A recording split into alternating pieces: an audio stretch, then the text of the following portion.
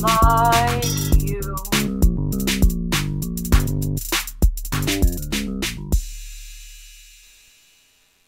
everybody, uh, first of all, I am going to start with a correction. In the last podcast, I heavily implied that crazy independent movies were the only true American art form, and this is, of course, incorrect. There's also jazz and stand up comedy and a bunch of other stuff that is also clearly uh, truly American art forms. Because I was thinking about it the other day and I said to myself, that wasn't true. Anyway, speaking of crazy, independent, uniquely American stuff, the third series of Twin Peaks ended a few weeks ago, but I only saw the last two episodes the other night. The last two episodes, 17 and 18, were broadcast at the same time, as far as I know, and I only saw them the other night. It's mental, right? Yeah, mad. Uh, it's really weird if you come from something like uh, literally any other television series and then say, yeah, alright, let's have a look at Twin Peaks. It does twist your brain. This last series uh, was a lot less like the uh, the TV show we all know and love, and a lot more like the, the weird movies David Lynch has been making since then, like uh, like Mulholland Drive and Inland Empire. If you've ever seen those, they're much closer in tone and content and theme and I guess even camera angle to the new series than the last two, which were David Lynch was under a lot of studio pressure the last time he made this show, and this series he was under no studio pressure whatsoever. He could do whatever the hell he wanted, and he did. Uh, loads of people watch these things, you know, these Twin Peaks things, Twin Peaks things, and his his latest movies, and they have the same reaction. You know, what the hell is happening? This is pretentious art school wank, and so on. It's like, who's he? What's going on? Where is he? This doesn't make any sense, and so on. Now I get all that. I do. I do actually get all that, in the sense that I understand why somebody would have that opinion. But I'm going to uh, attempt to mount a defense of Twin Peaks: The Return. He called it The Return. No, he didn't call it Season Three. He called it The Return. Twin Peaks: The Return, specifically for people who think it's pretentious art house wank, on the assumption that this is their genuine opinion, a genuine opinion, and not just a dismissal based on, you know, not giving a shit. And I've already expressed this in a Facebook post of a friend of mine who said it was pretentious art school wank. Uh, an opinion which I understand, by the way. I'm not trying to say it's a completely ludicrous opinion. I mean, you can look at anything David Lynch makes and say it's pretentious art school wank, and you're not going to be too far off the truth. you know, not going to lie, but I love it. Maybe I like pretentious art school wank. I don't know. Maybe that's my problem. There's no. I mean, there's no. There's, uh, when you think something is pretentious art school wank or just pretentious in general, there's no way to defend it that's not going to come across as pretentious itself. There just isn't any way. If you, whatever it is, if you think Coca Cola is pretentious, there'd be no way for me to defend Coca Cola that, that would not come across to you as pretentious. So there's no way. I didn't bother trying, in other words. I'm just going to launch right into it. The David Lynch thing is postmodernism and modern art. It's a part of the modern art thing that we got new, uh, 20th century phenomenon. It's modern art. Um, David Lynch has carved himself a niche inside this modern art thing, this American modern art thing for himself. It's brilliantly creative and original, and even if you don't like it, that in itself has to be worth something. I firmly believe that. Like there's stuff I am aware of that I've seen that I can't handle at all, that I just can't stand it. But I get it that it's creative and original, and from that point of view, it's valuable not to me, but it's valuable to the world in a sense. Anything that's creative and original. Right? That's an opinion. Modern art is new. Modern art is new. How can you identify modern art and modernism and postmodernism and so on? Well, for the first time under modernism, we had paintings and other artworks that weren't really about anything. Like that's the first question you're going to ask, isn't it? What's that about? The history of art can be seen as waves of of uh, stuff, waves of different styles. But broadly, if you want to put a really broad thing on it, it goes from iconic to representational to non-representational, but not iconic either. Iconic would mean if if something is like a, a stick man would be like a an iconic thing because it doesn't look anything like a man, but you get it like. Or that's you know the smiley face that they have in Watchmen or the LSD pins. They just you know they, you know it looks nothing like a smiley face. It's bright yellow and it has three marks on it. No, nothing in there is telling you it's a face, but you still recognize it as a face because it's iconic, right? So art moved from that kind of cave drawing thing all the way up to representational art, which would mean representational means it's supposed to genuinely represent something. So at that point, it would look like things like you'd have portraits and religious paintings and so on, and they're actually supposed to look like what they're what they represent. So it's representational. So if you have a photo of Moses on the mountain, not a photo, painting. If you have a photo of Moses on the mountain, oh, I want to talk to you. We are going to get a Nobel Prize in. So they're going to make a new category of Nobel Prize for us. And the Nobel Prize for photography goes to Barry Purcell and this person who called him. Actually, you know what? Why don't you just go and do it yourself? Why are you involving me in it? Why does everything have to revolve around me? Why do I have to do everything? So if you have a painting of Moses on the mount, at that stage of the art history thing, it's going to look like it. You won't have to work out any of the details, you know. Um, and now in modern art, we have a new thing, which is not representational but also not iconic. So you have something like Salvador Dali's Melting Watches, or what is it called, Persistence of Memory, I think it's called. And that's not really. It's definitely not iconic, and it's not really representational in that you can kind of recognize bits of the what he might have meant to paint, but he clearly is screwing it up on purpose for some reason. That's modern art. But for iconic and representational art, saying something like, what does this mean? is a perfectly reasonable question. You know? So if you see the cave paintings that ancient, ancient people drew on walls in France, you could you can say, what does that mean? And that's not a bad question. I mean, we might never know, but the question itself makes sense. Does it mean a religious thing, or does it mean he was just bored and painted some animals? You know, that's a fine question for uh, iconic art and representational art. Representational art, what does it mean, is very obvious usually. So you have a painting of Henry VIII, you say, what does this mean? Uh, it means Henry VIII painted, uh, paid a guy to paint him. Right? That's fair enough. What does this mean is a completely reasonable question there. But for a lot of modern art, saying what does this mean is incoherent. It doesn't really, it's not a sensible question for a lot of it. Which is why any attempts to answer that question will also appear uh, incoherent. They might not make sense. So you see a modern art and it's just a load of colours and a few splashes here, and you ask me, what does it mean? I mean, that's not a sensible question to me. And you ask, even if you ask the artist, you'd be like, well, I don't know. He's not going to know. That's not, that's not what it's for.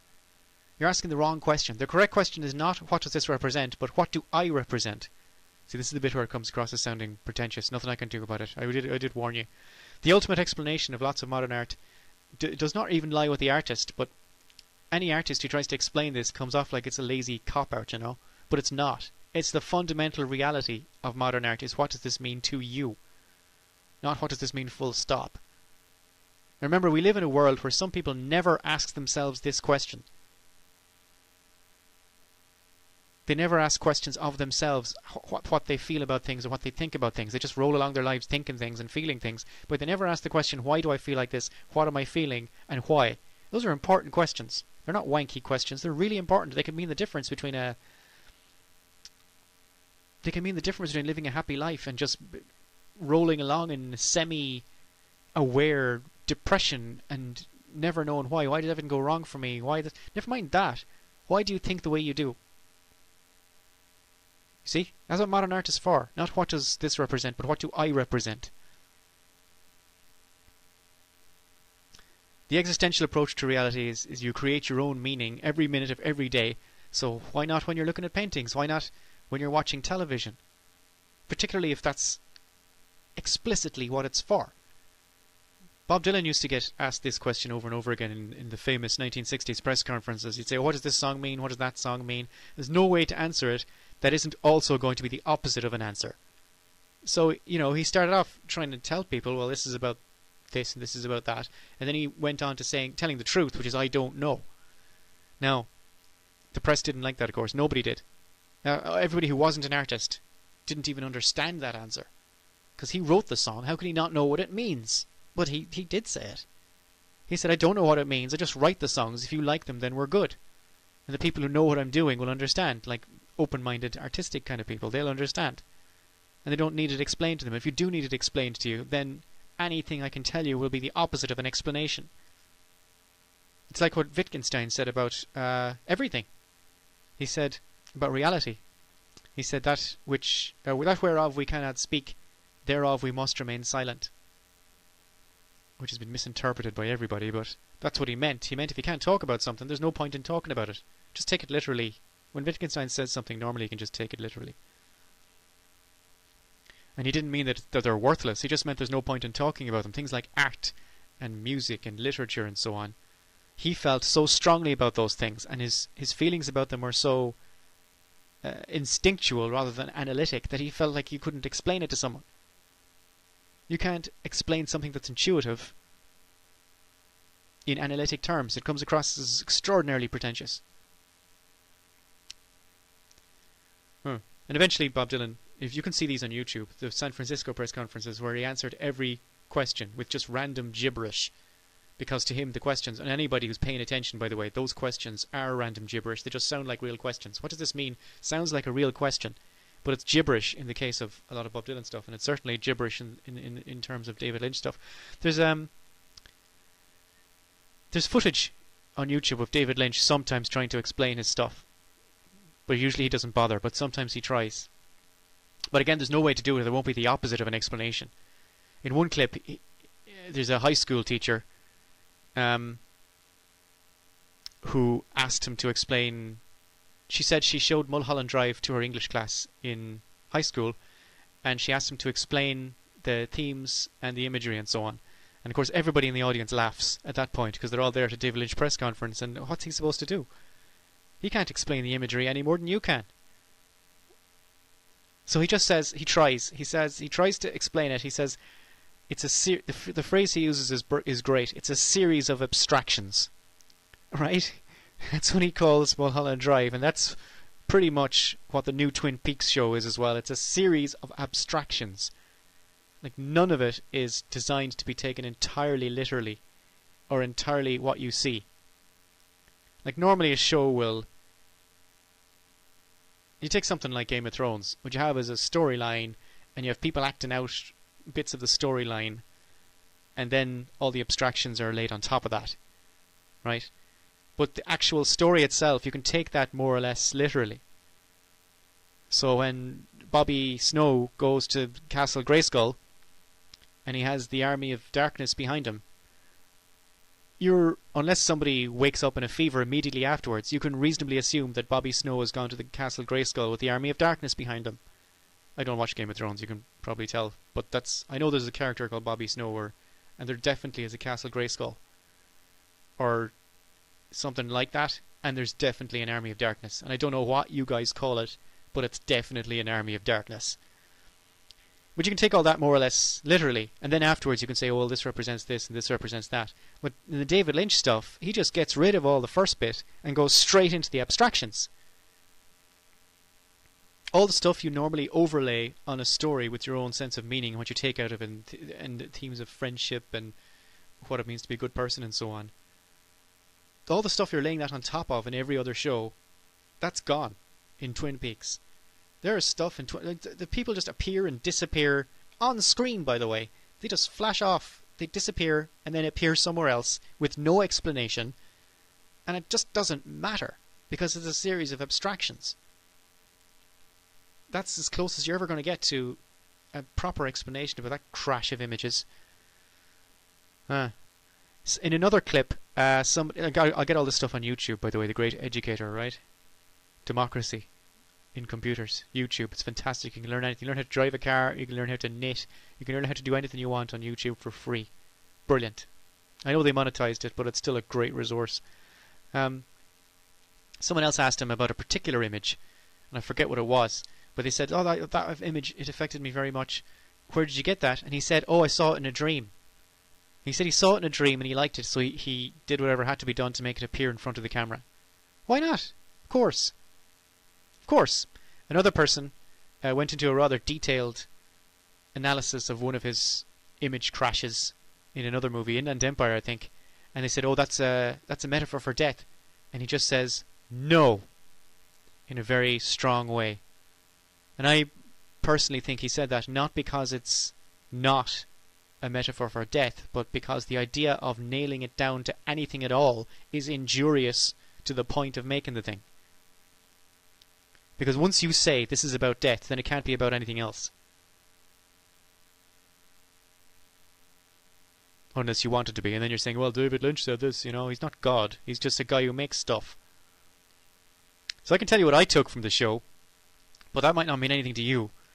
And your reasonable response to my ideas could be, well, that's total bullshit, Barry. Yeah? And I will accept that. That's perfectly reasonable. David Lynch himself said, I mean, the clue is in the title. He didn't call it Series 3, he called it Twin Peaks The Return. David Lynch himself has said it's all about the theme of going back. Dale Cooper getting back to Twin Peaks. The name of the little village in the, is called Twin Peaks. Dale Cooper going back to Twin Peaks, going back, going home. That's the theme. But like all modern art, it's about itself as much as anything else. And if it's about going back, it's also going to be about what it's like to revisit Twin Peaks after all these years. Not just the village, but the TV show, which I think is an important part of this. And again, I could be wrong because it's a David Lynch thing. I could be wrong about all this. Please remember, this could all be total bullshit in the sense that I could be wrong, but it is my genuine feelings on the thing. It's not I'm not making it up for lulls. I really think this, but it could all be wrong. But you're stuck with listening to me now if you've switched on this thing and you're in the back seat and you can't reach the dial. So it's not just going to be like what it's like to revisit Twin Peaks the village and all the little people we knew. It's going to be like what what it's like for us as viewers to watch something like that. To watch the show Twin Peaks 25 years after the last time. And I kind of I kind of like that. You see, I like all the postmodern, self-referential meta stuff. I like it. You know. I um I keep saying this, but I'm going to keep saying it because it's important for the context of what I'm talking about. I lived in California for 6 years. And I thought I was going to be out there forever, but it didn't work out that way. And when I came back in 20 I came back in 2013. And when I came back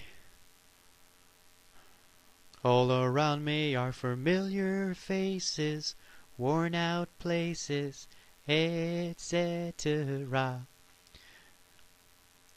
You want everything to be just the same as it was. Not want, but you, you almost expect it. You expect everything to be just the same as it was, but it never is. Everything keeps changing, and if you're not around when it happens, then when you come back, it's going to be different, no matter what you do or say. And you'll be different too. Like, why the hell would anyone expect a person or place to just freeze in time until you decide to come back? That doesn't make any sense. We develop a sense of object permanence at a very young age, so let's stick to that, yeah?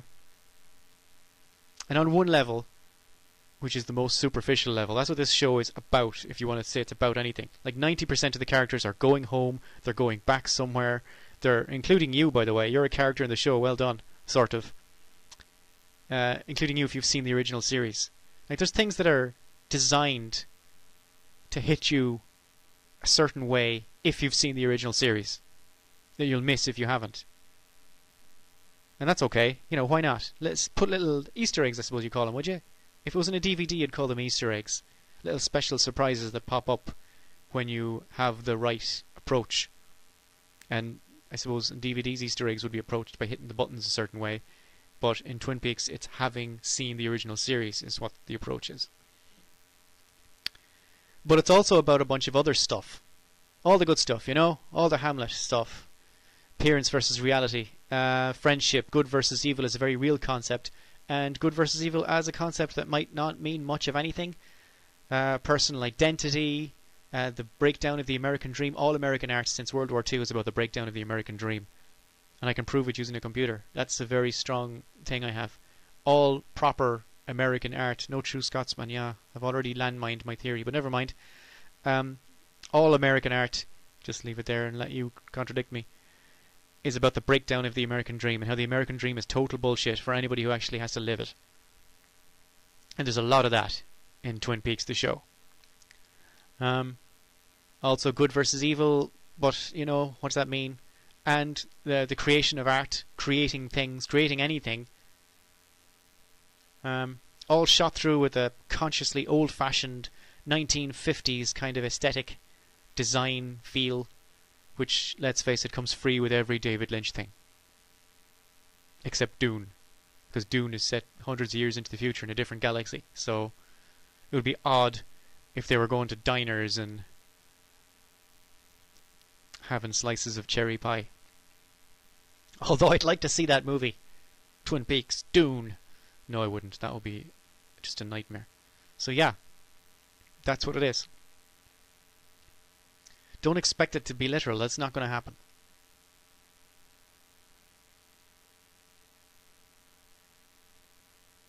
Yeah.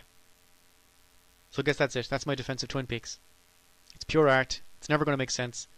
And instead of asking, what does this represent?